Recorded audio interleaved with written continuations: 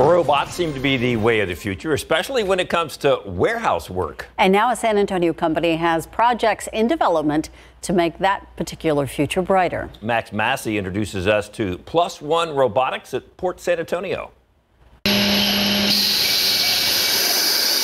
We don't make robots. We make the eyes for the robots to be able to work in those environments. Erik Nieves is the co-founder and CEO of Plus One Robotics. And here at Port San Antonio, the company has a new initiative. It's a program involving this man, Zachary Keaton, a former Northside ISD teacher. I mean, who doesn't love robots, right? Robots are cool. Keaton is leading the Yonder project. That essentially means that uh, we enable the robots to call for help from a human from anywhere in the world. So why would robots need help from humans? They just have a memory. They do the same thing over and over and over again.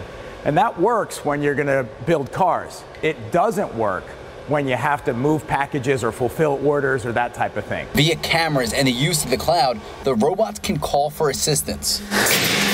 Um, we build in this human help system to where when they do need that help, they can get that help from a human crew chief, we call it. And humans from right here in San Antonio look at what the robot is seeing and go, oh, well, I don't know why you're confused, but I would pick it up like this.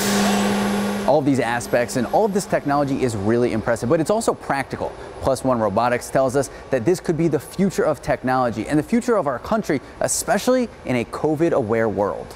These robots don't need to do social distancing, they don't need to wear the masks. And with something like that, the economy would continue operating to some extent, definitely more so than it has been, and more people could stay at work and could keep getting that paycheck.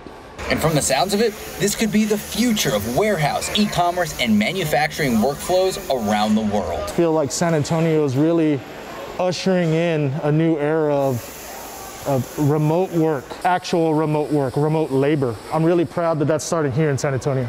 Max Massey, KSAT 12 News.